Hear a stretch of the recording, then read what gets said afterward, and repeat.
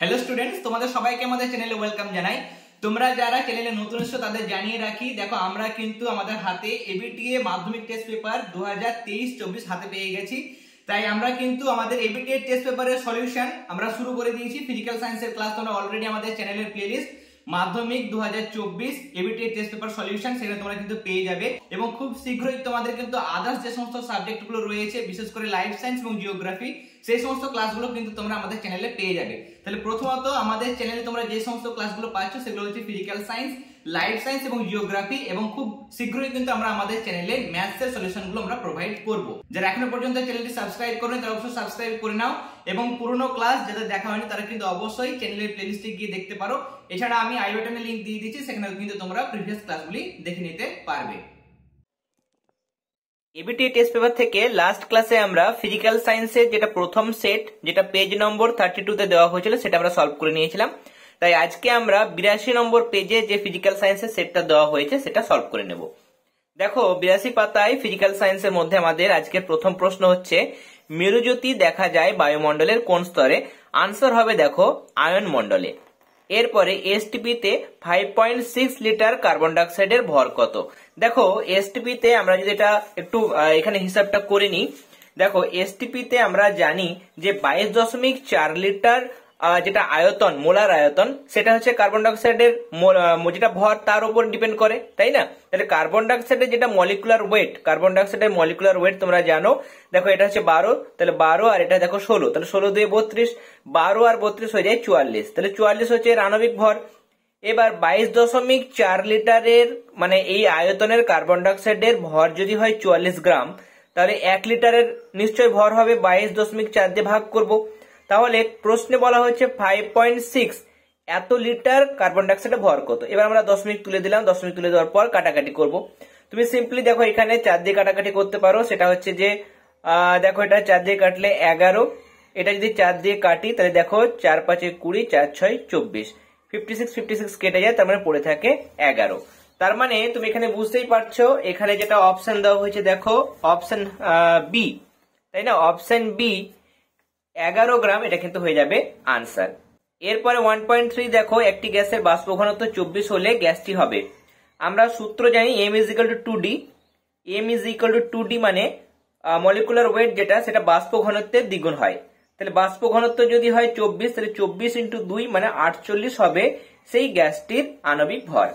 এবার এগুলোর মধ্যে যদি আমরা হিসেব করি, দেখতে পাচ্ছি শুধুমাত্র এই যে ও থ্রি ওজন যেটা দেওয়া হয়েছে ওজনের ক্ষেত্রে কিন্তু আণবিক ভর হবে আটচল্লিশ। তার কারণ অক্সিজেনের ষোলো তাহলে তিন ষোলো হয়ে যায় আটচল্লিশ, আর বাকিগুলো তুমি মেলাতে চাইবে সেগুলো কিন্তু হবে না। যেমন ধরো অপশন বি যদি আমরা দেখি, নাইট্রোজেনের হচ্ছে চোদ্দ, হাইড্রোজেনের এক।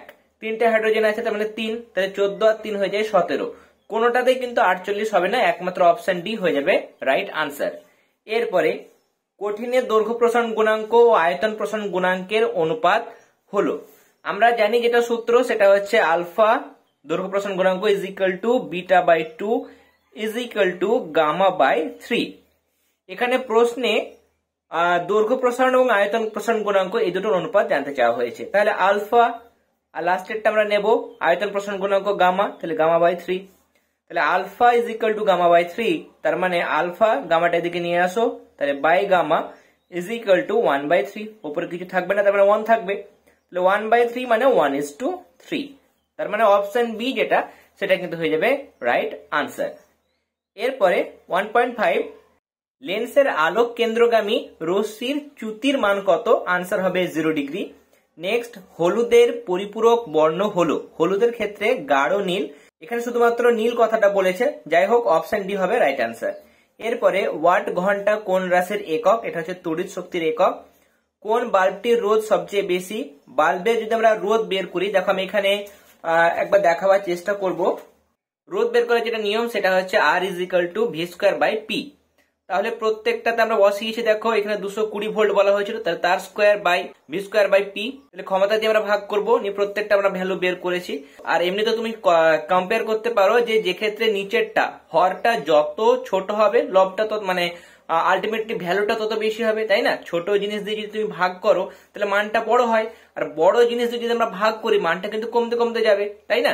তার জন্য কিন্তু এই ক্ষেত্রে মনে রাখবে যে, দেখো, এখানে সবগুলোতেই কিন্তু দুশো কুড়ি ভোল্ট সবগুলোতেই দুশো কুড়ি ভোল্ট এবার যে ক্ষেত্রে ক্ষমতা মানে যেটা মানটা হচ্ছে কম, সে মানটা কিন্তু আলটিমেটলি বেশি হয়ে যাবে। তাহলে এখানে চল্লিশ রয়েছে, এগুলোতে দেখো ষাট ওয়াট এটা একশো ওয়াট এটা দেড়শো ওয়াট তাহলে চল্লিশ ওয়াট দিয়ে আমরা ভাগ করছি, তার মানে এইখানে মানটা কিন্তু বেশি হয়ে যাবে, তাই না? ছোট জিনিস দিয়ে ভাগ করছি। এরপরে ওয়ান পয়েন্ট নাইন দেখো, গাছের বয়স নির্ধারণে ব্যবহৃত হয়। আনসার হবে দেখো carbon C fourteen isotope one point ten পর্যায় সারণীর পনেরো নম্বর শ্রেণির মৌলগুলোকে কি বলা হয়? পনেরো নম্বর শ্রেণির মৌলগুলোকে বলা হয় নিক্টোজেন মনে রাখবে আর ভালো মতো ভাবে শুনে নাও। ষোলো নম্বর শ্রেণি যেটা, সেটাকে বলা হয় চ্যালকোজেন সতেরো নম্বরকে বলা হয় কিন্তু হ্যালোজেন এবং যেটা আঠারো নম্বর, সেটাকে বলা হয় কিন্তু নোবেল গ্যাস বা নিষ্ক্রিয় গ্যাস এরপরে ত্রিবন্ধন যুক্ত একটি সমযোজী মৌলিক অণু, এটা আনসার হবে দেখো নাইট্রোজেন নাইট্রোজেনের ক্ষেত্রে নাইট্রোজেনের ক্ষেত্রে যদি আমরা অঙ্কন করি, দেখো নাইট্রোজেনের ক্ষেত্রে ত্রিবন্ধন থাকে, দুটো নাইট্রোজেনের মাঝখানে ত্রিবন্ধন থাকে, আর এক জোড়া করে নিঃসঙ্গ ইলেকট্রন জোড় বা লোন পেয়ার অফ ইলেকট্রন কিন্তু থেকে যায়। কেমন? এর ক্ষেত্রে এক জোড়া লোন পেয়ার অফ ইলেকট্রন এখানেও কিন্তু লোন পেয়ার অফ ইলেকট্রন থাকে, আর ত্রিবন্ধন থাকে। এরপরে ওয়ান পয়েন্ট টুয়েলভ অ্যানোড মাডে যে ধাতুটি পাওয়া যায়, সেটা হচ্ছে গোল্ড। গোল্ড পাওয়া যায়। এছাড়া সিলভার, প্ল্যাটিনাম এগুলো কিন্তু পাওয়া যায়। কোন গ্যাসের সংস্পর্শে নেসলার বিকারক বাদামি বর্ণে পরিণত হয়? ভীষণ ইম্পর্টেন্ট কোশ্চেন এটা কিন্তু আনসার হয়ে যাবে অ্যামোনিয়া। এরপরে কার্বন বিজারণ পদ্ধতিতে নিষ্কাশন করা হয়। কার্বন বিজারণ পদ্ধতিতে যেগুলো অপেক্ষিত কম সক্রিয় ধাতু, সেগুলোকে কিন্তু নিষ্কাশন করা যায়। এগুলোর মধ্যে দেখো আনসার হবে কিন্তু জিঙ্ক। আর এগুলো কিন্তু তড়িৎ রাসায়নিক শ্রেণীতে উপরের দিকে আছে, তাই জন্য কার্বন বিজারণ পদ্ধতিতে নিষ্কাশন করা সম্ভব নয়। শেষ এমসিকিউ কোনটি? সম্পৃক্ত হাইড্রোকার্বন নয়। সম্পৃক্ত হাইড্রোকার্বন মানে সিঙ্গেল বন্ড থাকবে, ডাবল বন্ড বা ট্রিপল বন্ড থাকবে না। তাহলে প্রশ্নে বলছে সম্পৃক্ত হাইড্রোকার্বন হবে না, তার মানে এই কম্পাউন্ডগুলোর মধ্যে কোনটাতে ডাবল বন্ড বা ট্রিপল বন্ড রয়েছে। দেখো, সবগুলো কিন্তু অ্যালকেন। লাস্টে যেটা দেওয়া হয়েছে সেটা কিন্তু অ্যালকিন, তাই না? ইথিলিন। তার মানে এখানে কিন্তু দেখো ডাবল বন্ড রয়েছে। তার জন্য এটা হচ্ছে কিন্তু অসম্পৃক্ত হাইড্রোকার্বন এরপরে আমরা বিভাগ ক্ষয়ের প্রশ্নগুলো চলে যাব। প্রথম প্রশ্ন, বায়ুমণ্ডলের শীতলতম স্তর কোনটি? তোমরা আনসারে লিখবে, বায়ুমণ্ডলের শীতলতম স্তরটি হলো মেসোস্ফিয়ার নেক্সট কোয়েশ্চেন দেখো, অথবা দিয়ে ফায়ার আইস কাকে বলে? আনসারে তোমরা কি লিখবে? একবার দেখে নাও। দেখো মিথেন গ্যাস দাহ্য হওয়ায় বরফ সদৃশ মানে বরফের মতো দেখতে, মিথেন হাইড্রেট কেলাস আগুনের সংস্পর্শে আসা মাত্র জ্বলতে থাকে। তাই একে ফায়ার আইস বলা হয়। ফায়ার মানে আগুন, আর আইস মানে হচ্ছে যেহেতু এটা দেখতে বরফের মতো, তাই জন্য আলটিমেটলি মিথেন হাইড্রেটটাকে বলা হচ্ছে fire ice. Two point two বায়োগ্যাসের প্রধান উপাদান কি? তোমরা আনসারে লিখবে, দেখো বায়োগ্যাসের প্রধান উপাদান হচ্ছে মিথেন গ্যাস মানে CH four next two point four সত্য না মিথ্যা লেখো, আদর্শ গ্যাসের বাস্তবে কোনো অস্তিত্ব নেই, এটা সত্যই বলা হয়েছে। তার কারণ এটা হচ্ছে শুধুমাত্র কল্পনা। বাস্তবে কিন্তু সমস্ত যে আমরা গ্যাস আশেপাশে দেখতে পাই, সবগুলো হচ্ছে কিন্তু রিয়াল গ্যাস বা বাস্তব গ্যাস, আদর্শ গ্যাস কিন্তু কোনোটাই নয়। এরপরে নেক্সট টু পয়েন্ট ফাইভ বলছে, তাপ সঞ্চালনে যে পদ্ধতিতে কণাগুলির স্থানচ্যুতি ঘটে না, তার নাম কি? তার নাম হয়ে যাবে, দেখো, পরিবহন পদ্ধতি। তাহলে তোমরা এখানে সিম্পলি লিখে দেবে যে পরিবহন পদ্ধতিতে পদার্থের কণাগুলির স্থানচ্যুতি ঘটে না। নেক্সট কোয়েশ্চেন দেখো এখানে, অথবা দিয়ে। এসআই পদ্ধতিতে তাপ পরিবাহিতাঙ্কের একক কি? তাপ পরিবাহিতা বা তাপ পরিবাহিতাঙ্কের একক হচ্ছে watt metre inverse, kelvin inverse. Two point six শূন্যস্থান পূরণ করো, প্রিজম কি সৃষ্টি করতে পারে না?